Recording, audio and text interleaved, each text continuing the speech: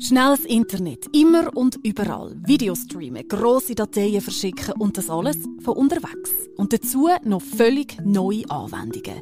Das alles soll durch den neuen Mobilfunkstandard 5G möglich sein. Automatisiertes Fahren zum Beispiel wird eindeutig auf 5G setzen, einfach aufgrund der Eigenschaften von 5G. Aber gleichzeitig gibt es auch viel Kritik.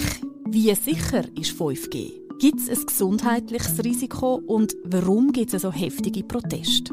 Man geht davon aus, dass zwischen 5 bis 10 Prozent der Bevölkerung effektiv elektrohypersensibel sind. Das ist der Durchblick. Der Wissenspodcast vom Blick. Wir suchen Antworten auf die Fragen an die Wissenschaft, die euch unter den Nägeln brennen. Mit der Serena Tanner und Jenny Rieger. Und mit dem sagen wir willkommen zu der neuesten Folge vom Durchblick. Ja, jeder von uns hat heutzutage ein Smartphone und die meisten von uns brauchen das Internet nicht nur von Heimen aus. Immer mehr Daten werden mobil übertragen. Der neue Mobilfunkstandard 5G soll das mobile Netzwerk noch leistungsfähiger machen und der Ausbau ist zum Teil auch sichtbar. Seit gut zwei Jahren sieht man immer mehr neue 5G-Antennen. Doch nicht alle sind so glücklich mit dem 5G-Ausbau. Zum Teil wurden 5G-Antennen sogar angezündet. Es gab auch Demos gegen den neuen Mobilfunkstandard, wie zum Beispiel, wie wir hier hören, 2019 in Bern. Ob 5G tatsächlich gefährlicher ist als 4G, das schauen wir nachher an. Zuerst wollen wir wissen, was ist eigentlich genau der Unterschied zum alten Standard? 5G löst über 4G drei große Probleme. Äh, das erste Mal geht es um den Verbindungsaufbau, wo schneller und zuverlässiger wird sein. Das ist Dirk Leuthold, Professor für elektromagnetische Felder an der ETH Zürich. Und er sagt, eine wichtige Neuerung liegt in der sogenannten Latenzzeit. Also das ist die Zeit, die so ein Datenpaket braucht, um vom Sender zum Empfänger zu gelangen. Und momentan dauert das noch bis zu 40 Millisekunden. Man will eine Verbindung aufbauen innerhalb von einer Millisekunde. Und das ist ein großer Schritt, wenn Sie daran denken, wie lange es dauert, bis Sie heute eine Mobilkommunikationsverbindung haben. Das Zweite ist, es soll möglich werden, große Daten in kurzer Zeit übertragen zu können. Und das Dritte, was man lösen will, ist, man will Sensornetzwerke betreiben Und zwar Sensornetzwerke, die mit Sensoren ausgehen können, die viel weniger Energie brauchen. Und wie löst 5G das Problem? Also einerseits sind Bauteile und Antennen empfindlicher, als sie für das früher waren. Das heißt, man kann mit weniger Energie mehr Daten übertragen. Es gibt aber auch viele Sachen, die sich nicht geändert haben. Also zum Beispiel die Art und Weise, wie Daten übertragen werden, ist eigentlich dieselbe. Was sich vielleicht geändert hat, ist, man erlaubt, in andere Frequenzbänder zu gehen, wo man bei 4G nicht hat. Man hört ja auch manchmal, dass der Bund neue Frequenzen an Mobilfunkanbieter versteigert hat. Was heißt denn das genau? Das alte 4G hat im Wesentlichen auf 1 GHz bis etwa 2 GHz gesendet.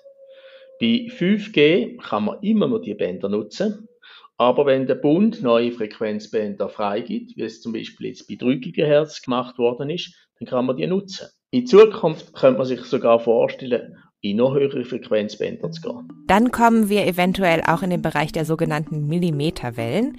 Dabei gilt, je höher die Frequenz, desto geringer die Reichweite. Das heißt, man braucht mehr Sendemasten, um den gleichen Bereich abzudecken, wenn man diese höheren Frequenzen verwendet. Und darum müssen natürlich dann auch neue Antennen gebaut werden, mhm. oder? Genau.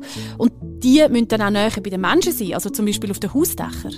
Genau. Und größtenteils liegt der Unterschied zwischen 4G und 5G aber gar nicht in der Hardware, sondern in Softwareprotokollen.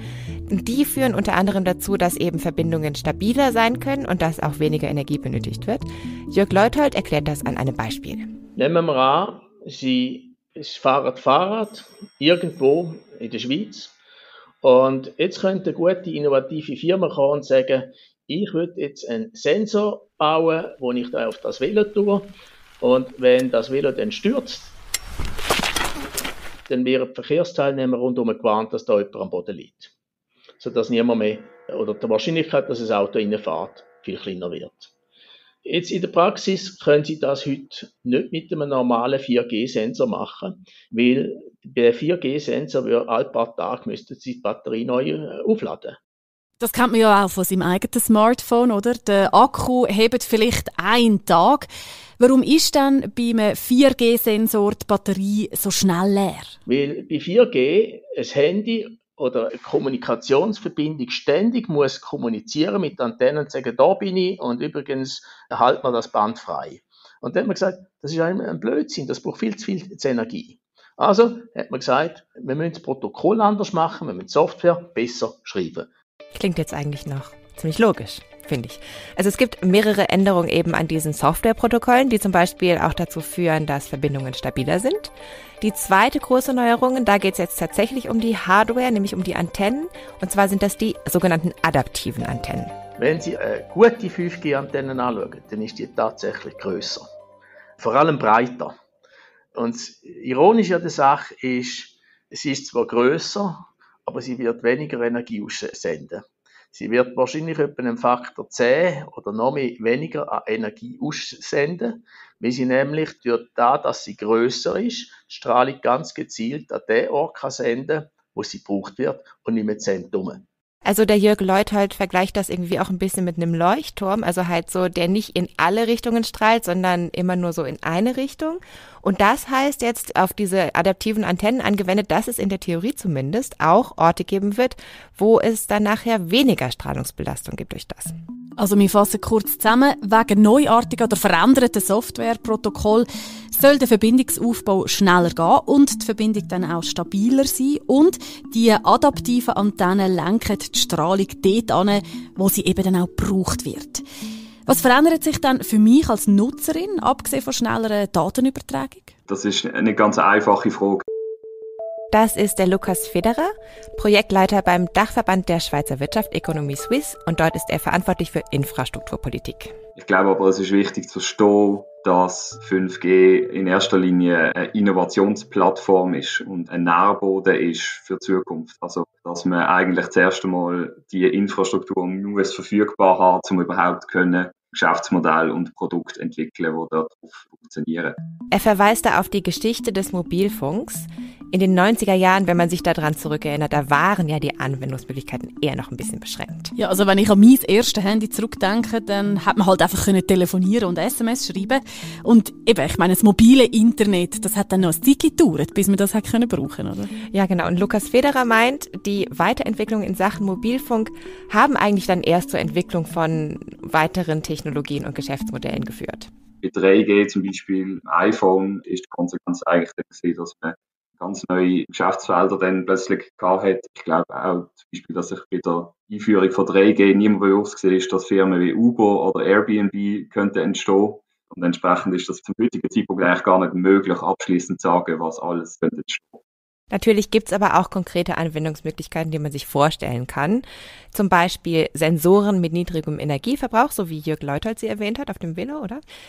Was in Verbindung mit 5G auch häufig genannt wird, sind selbstfahrende Autos. Automatisiertes Fahren zum Beispiel wird eindeutig auf 5G setzen, einfach aufgrund von der, von der, von der Eigenschaften von 5G also von der schnellen Datenübertragung und von der Verbindungssicherheit. Also laut Lukas Federer verspricht sich die Wirtschaft sehr viel von 5G. Zum Beispiel auch in der Industrieproduktion könnten dadurch Prozesse besser vernetzt werden. Und es ist aber auch für die Nutzer einfach eine Kapazitätsfrage. Also gemäß Bundesamt für Statistik haben in der Schweiz im Jahr 2021 fast alle Menschen täglich das Internet benutzt. Genau gesagt waren es 96 Prozent, also wirklich fast jeder. Und etwa die Hälfte dieser Zugriffe auf Webseiten passiert eben über mobile Geräte. Und laut Prognosen wird diese Zahl noch steigen. Das ist auch ein Trend, den man überall auf der Welt sieht. Es gibt weltweit etwa 9 Milliarden Mobilfunk-Abos. Und man geht davon aus, dass bis 2027 etwa die Hälfte von denen 5G Abos werden sein. Das bedeutet ja aber auch immer mehr 5G-Antennen. Mhm. Und wie wir wissen und vorher auch schon gehört haben, sind nicht alle glücklich damit. Antennen werden angezündet, es hat Proteste gegeben, wie der in Bern im Jahr 2019. Viele machen sich Sorgen, dass die Strahlung oder eben die neuen Antennen gesundheitsschädlicher sein können als die alten 4G-Antennen. Was sind genau die Bedenken von diesen Leuten, Jenny? Ja, um das besser nachvollziehen zu können, bin ich nach Wahlen gefahren. Das ist ein Dorf in Basel-Landschaft. Es ist da gerade Anfang April.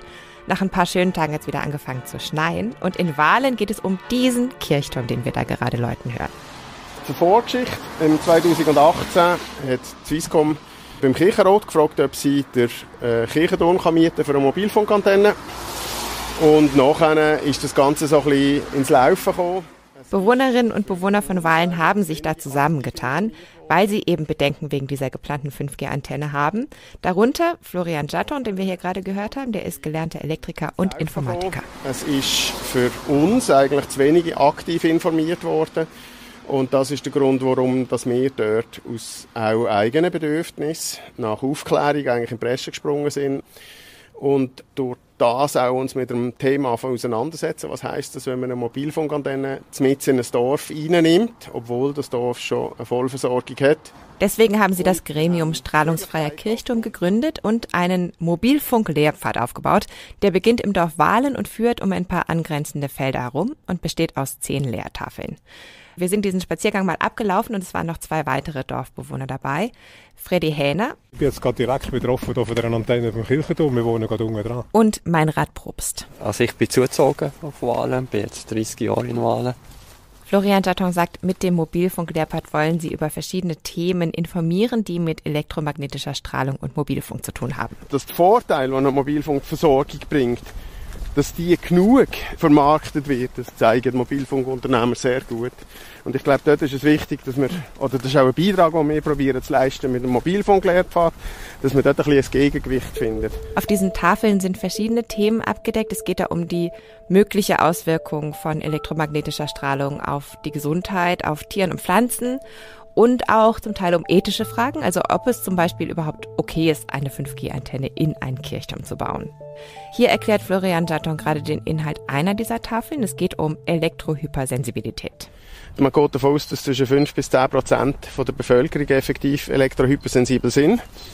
Und da gibt es sehr viele spannende Studien, wo die EHS, also die Elektrohypersensibilität, erforschen. Elektrohypersensibilität heißt was genau? Also es ist zwar keine genau definierte Diagnose, aber es gibt Menschen, eben etwa 5% der Bevölkerung, die sagen, dass sie Mobilfunkstrahlung spüren können und dass es sie irgendwie negativ beeinflusst. Ich habe bei Bernhard Aufderecken nachgefragt. Er ist Präsident des Vereins Ärztinnen und Ärzte für Umweltschutz, kurz EFU.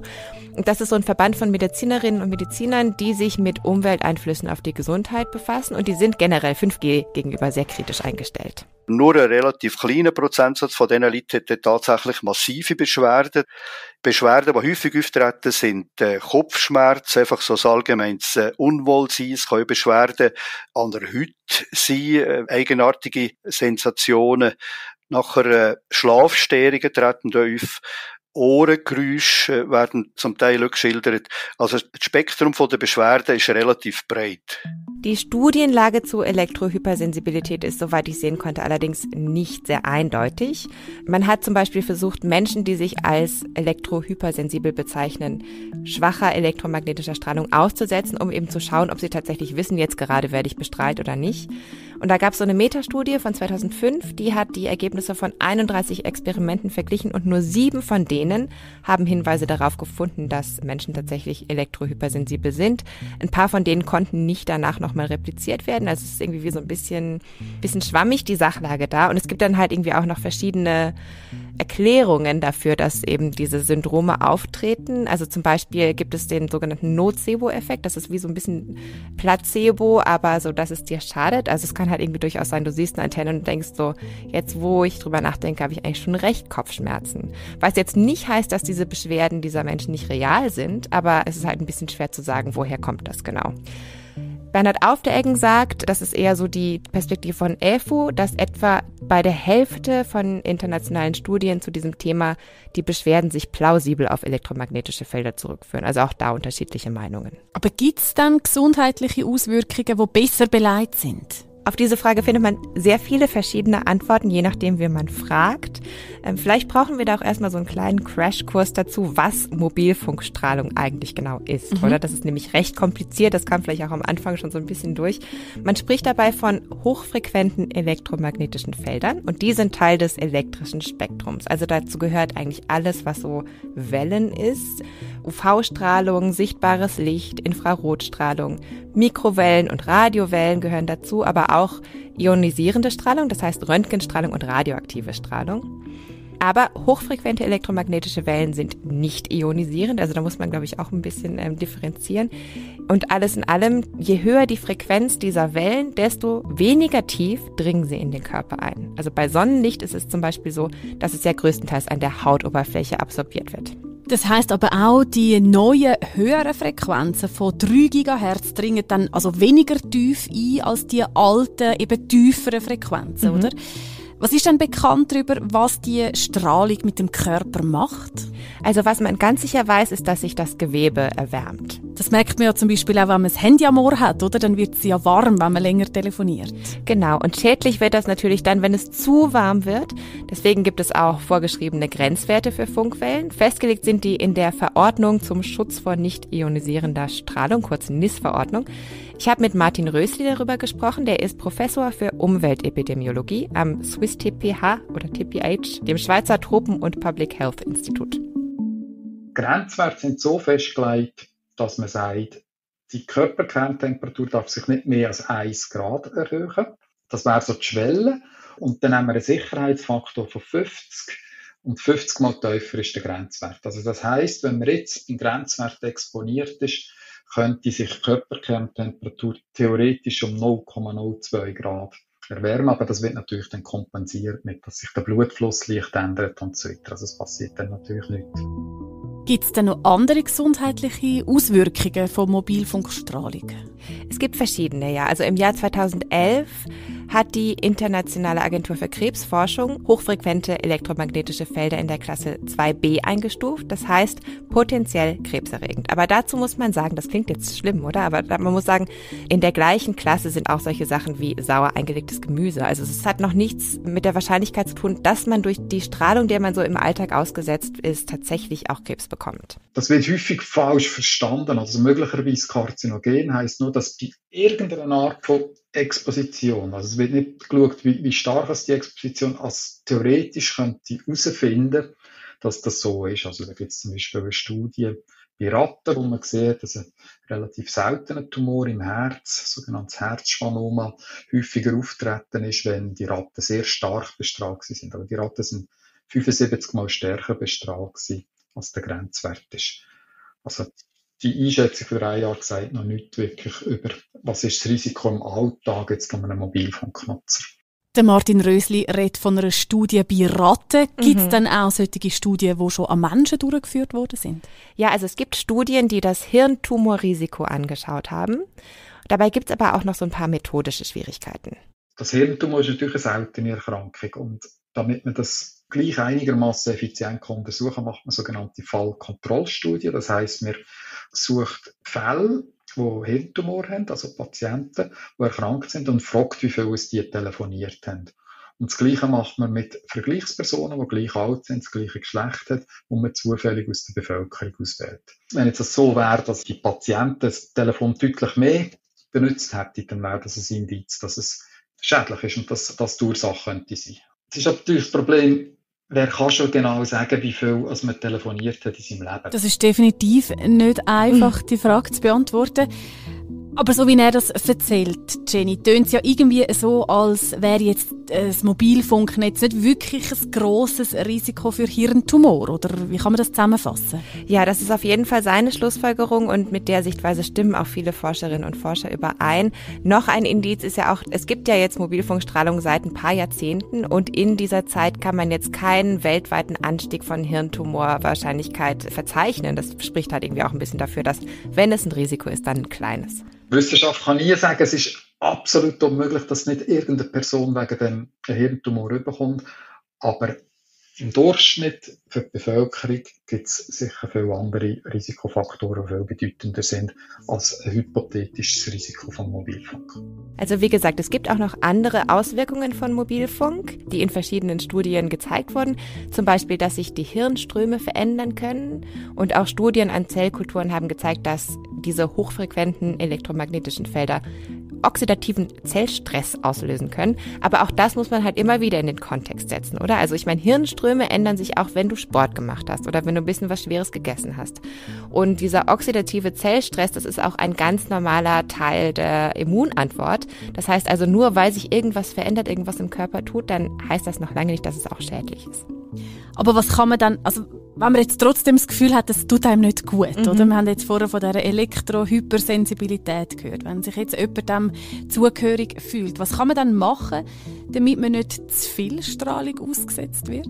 Also die gute Nachricht ist, du hast da recht viel Kontrolle drüber. Laut Martin Rösli kommt nämlich der größte Teil der Strahlung, den du in deinem Leben so abbekommst, von deinem eigenen Handy, einfach weil es eben ganz nah an dir dran ist und auch nah am Kopf, in der Hosentasche und so weiter. Das heißt, ähm, wenn du die, deine Nutzung modifizierst, dann kannst du die Strahlung schon auch ein bisschen reduzieren. Also zum Beispiel das Handy ausschalten, wenn du es nicht brauchst. Oder mit Kopfhörern mit Kabeln telefonieren, statt eben das Handy am Ohr zu halten. Bei Nichtgebrauch oder nachts vielleicht auch das, das Handy nicht im Schlafzimmer haben oder so. Und es macht auch einen sehr großen Unterschied, wie stark der Empfang ist. Das Handy hat eigentlich eine, eine extrem starke Leistungsregelung. Das heißt, es strahlt nur so stark, wie es gerade muss, damit es die nächste Antenne kann erreichen kann. Und das kann wie ein Faktor Million ausmachen, je nach Art von der Technologie, ob es 3G, 4G oder 5G ist und wie man es nutzt, ob man jetzt Daten nutzt oder Video schaut oder äh, telefoniert. Und das hat zur Folge, dass wenn man sehr schlechten Empfang hat, dass es sehr stark kann strahlen. Also man kann im Extremfall eine Minute lang ein Telefon brauchen bei sehr schlechtem Empfang und kumulativ die gleiche Strahlungsmenge haben, wie wenn man ein ganzes Jahr lang würde bei optimalem Empfang das Handy brauchen. Handys strahlen also am wenigsten, wenn der Empfang gut ist mhm. und höhere Frequenzen dringen weniger tief ins Gewebe ein. Also wenn man jetzt rein nach diesen Kriterien würde gehen, sollte man ja meinen, 5G ist weniger schädlich als 4G. Mhm. Trotzdem haben Florian Jaton und die anderen Bewohnerinnen und Bewohner von Wahlen eben den Mobilfunklehrpfad gebaut, weil sie 5G ja nicht so toll finden. Warum sind sie dann so skeptisch, Jenny? Also ich denke, einerseits haben sie kein sehr großes Vertrauen in die Mobilfunkanbieter. Sie sind auch unzufrieden damit, wie das kommuniziert wurde mit ihnen, oder? Diese Pläne mit, den, mit der neuen Antenne. Und ganz Unrecht haben sie da vielleicht nicht. Also es gab auch schon Berichte, dass 5G-Antennen die Strahlungsgrenzwerte manchmal überschreiten. Und dazu kommen sicherlich auch noch so persönliche Beobachtungen, wie Freddy Henner hier erzählt. Da wohnt eine Imkerin, die macht bei uns mhm. auch mit. Und die, und die sagt, wenn sie die Imkerstange reingeht und das Nadel mitnimmt, spielen Pindli verrückt. Mhm. Dann sind sie ganz nervös. Und wenn sie das Nadel rauslässt, ist das nicht ich kann nicht sagen, es macht nichts. Mhm. Ja. Also es ist, es ist Beobachtungen halt ja. einfach von, von Menschen, ja. decken sich mit Ergebnissen ja. von wissenschaftlichen Studien. Eben. Irgendetwas muss es doch sein. Mhm. Aber wir sagen nicht, es ist nichts oder es ist etwas. Jeder soll sich Gedanken selber machen. Ja. Mhm. Wieso, und wir, wir sind Wahl einfach die, die gegen die Antennen sind. Das stimmt ja. nicht. Mich stört es einfach, mir persönlich als das Schulhaus bestrahlt wird. Wir haben ein altes Schulhaus, wir haben ein neues Schulhaus, wir haben einen Spielplatz und wir haben einen Kindergarten, der 70 Meter weg ist. Das wird alles voll bestrahlt. Das finde ich einfach ein bisschen ungeschickt. Was ich mich frage in diesem Zusammenhang, auf diesen Tafeln werden ja auch viele Studien zitiert. Und wir wissen ja, die Wissenschaft ist ein Prozess, der sicher keine endgültigen Wahrheiten liefert. Aber es scheint mir schon sehr im Gegensatz zu dem zu stehen, was Martin Rösli gesagt hat, oder was wir jetzt da hören. Wie kommt es? Ja, das finde ich auch einen ganz spannenden Punkt, oder? Also ich habe da auch mit Jörg Leuthold drüber gesprochen von der ETH und der hat mir von einer Metastudie erzählt, die 2014 gemacht wurde von so einem österreichischen Professor. Und darin sind die Ergebnisse von verschiedenen epidemiologischen Studien zusammengefasst, die das Risiko von Hirntumoren in Zusammenhang mit Mobilfunknutzung untersucht haben, und zwar zwischen 2001 und 2014. Er hat zuerst einmal festgestellt, wenn er Studien anschaut, dann hat es ein breites Spektrum. Da gibt es die, die finden dramatische Sachen, die mit elektromagnetischer äh, Strahlung passieren. Da gibt es einen Zusammenhang zu Krebs. Dann hat er aber auch die gefunden, die sagen, nein, im Gegenteil, das hat positive Auswirkungen. Behandlung mit elektromagnetischer Strahlung hilft gegen äh, Hirntumor. Das ist sehr widersprüchlich. ja. Wie kann das sein? Die Wahrheit liegt wahrscheinlich irgendwo in der Mitte. Sehr interessanterweise Mehrheit der Leute findet eigentlich nichts. Aber es sind immer die gleichen, die immer einen Haufen finden, sei es pro, sei es contra. Dann hat er aber noch etwas angeschaut, dann hat er gesehen, es gibt über die Jahre hinweg so eine Tendenz. Die Studien kommen zu ganz wenigen Probanden zu immer größeren Studien und sie nehmen immer mehr Probanden in die Betracht gezogen. Und wenn er so von 10 auf 100 auf 1000 geht, selbst die, die ganz dafür oder ganz dagegen sind, die kommen alle zum Schluss, wir finden letztlich nichts mehr. Also in den grossen Studien verschwindet die große Effekt von Schädlichkeit oder von therapeutischer Wirkung, die verschwindet fast ganz. Und das denke ich, das ist ein interessanter Befund, weil es zeigt, dass letztlich, wenn man das große Ganze anschaut, sowohl Kritiker als auch Befürworter irgendwo ihre Evidenzen verlieren. Das macht es natürlich auch nicht gerade einfacher, aber es heißt eben auch so ein bisschen, wenn du Studien finden willst, die das bestätigen, was du glaubst, sei es jetzt schädlich oder nicht schädlich, dann findest du die auch. Also es ist sehr, sehr wichtig, sich möglichst einen breiten Überblick zu verschaffen, um da wirklich der Wahrheit quasi ein bisschen näher zu kommen. Also irgendwie ist es auch eine Demonstration davon, wie der wissenschaftliche Prozess so funktioniert. Und gleichzeitig gibt es natürlich auch viele Themen, die mehr erforscht werden müssen. Also zum Beispiel gerade diese Wirkung von Strahlen mit höheren Frequenzen, Millimeterwellen und so auf die Umwelt.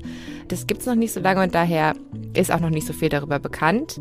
Und dass da mehr Forschung nötig ist, das fordern auch nicht nur 5G-Kritiker, wie jetzt zum Beispiel Bernhard Aufdecken von EFU und das Wahlener Gremium, sondern auch Forscher wie Martin Rösli. Also es ist definitiv ein schwieriges Thema. Allein schon zu verstehen, wie die Strahlung überhaupt funktioniert, das ist sehr kompliziert. Mhm. Ich könnte mir aber auch gut vorstellen, dass sich viele Leute Sorgen machen, weil die Mobilfunkstrahlung ja eben nicht sichtbar ist, oder?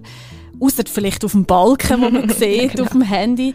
Es bleibt einfach recht abstrakt. Ja, und dieser Begriff Strahlung ist ja irgendwie auch ein bisschen mit Gefahr und negativ belegt oder allein schon wegen, wegen Atomunfällen und solchen Sachen, oder? Und ich glaube, es kommen eben zum Teil gerade bei so Mobilfunk auch noch Bedenken dazu, die zwar mit mobiler Kommunikation zu tun haben, aber nicht unbedingt mit Strahlung. Hier hören wir nochmal Bernhard Aufderecken vom Verein Ärztinnen und Ärzte für Umweltschutz. Eine Sache, die wir auch sehen, oder man muss bedenken, jetzt abgesehen von den gesundheitlichen Bedenken, die wir haben, sei das jetzt im Bereich von Krebssteg, äh, Fortpflanzung, Beeinflussung, ist auch dass sich das Verhalten im Bereich vor allem von den Jugendlichen massiv verändert hat und der Einfluss in dem Bereich groß ist. Und also da gibt es klare Hinweise, dass bei stärkerer Nutzung Depressionen, man hat auf der anderen Seite auch Gedächtnisstörungen, kognitive Störungen, die in diesem Bereich auftreten.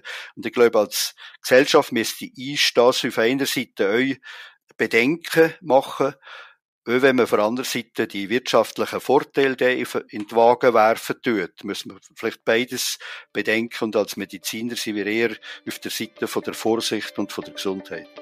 Da gibt es doch aber auch einen Interessenskonflikt. Die einen wollen superschnelles mobiles Internet, die anderen wollen wenig Mobilfunkstrahlung. Da braucht es doch einfach einen gesellschaftlichen Dialog. Ja, genau das hat Jörg Leuthold von der ETH auch gesagt und er hätte da auch einen ganz interessanten Vorschlag. Es gibt nun mal Leute, die Angst haben und die das Gefühl haben, dass sie von elektromagnetischer Strahlung belästigt werden. Wir müssen als Gesellschaft auch einen Weg finden, auch diesen Leuten eine Heimat zu geben in der Schweiz. Ja, wenn Sie jetzt mich fragen, was würde ich machen? Ich denke, die Schweiz ist genug groß. Man könnte sich auch mal als Politiker überlegen, wieso macht man nicht einmal ein Tal irgendwo Mobilkommunikation frei? Das wäre vielleicht auch mal ein politischer Vorstoß, oder? Ja, vielleicht ein Tal oder ein unbeugsames Dorf in Basel-Landschaft. Also dieser Vorschlag wäre wahrscheinlich auch in Florian Jaton Sinn. Wahlen ist eigentlich die einzige Gemeinde hier im Laufental, die noch keine Antenne mit im Dorf hat. Und ich denke, genau das wäre eben auch eine grosse Chance, ein Standortvorteil, ähm, wo die Gemeinde so könnte entsprechend kommunizieren und sagen, wir halten daran fest, also wir sind versorgt. Offensichtlich funktioniert das einwandfrei. Äh, wir brauchen keine Antennen mit im Dorf, weil wir hier auch Platz schaffen für Leute, die elektrohypersensibel sind. Und das ist leider noch nicht ganz angekommen, ähm, dass das ein Standortvorteil kann sein kann. Aber wir arbeiten daran. ja, und mit diesem Gedanken entlösen wir euch heute. Das war es mit dem Durchblick. Wir danken herzlich fürs Zuhören. Die Quellen findet ihr wie immer in den Show Notes. Und ja, also wie gesagt, gerade bei dem Thema wichtig, wichtig, sich möglichst viele verschiedene Studien mit verschiedenen Blickwinkeln auch anzuschauen, um sich einen Überblick zu verschaffen. Nächste Woche haben wir auch ein sehr spannendes Thema. Da geht es nämlich um Demenz. Und als kleiner Teaser, Jenny, man darf sagen, du hast dich gefühlt wie eine Demenzkranke. Du ja. hast nämlich ein sehr spannendes Experiment gemacht. Genau, das war sehr, sehr verwirrend. Wir freuen uns wie immer über eine positive Bewertung. Und Tschüss für heute, sagen Jenny und Serena.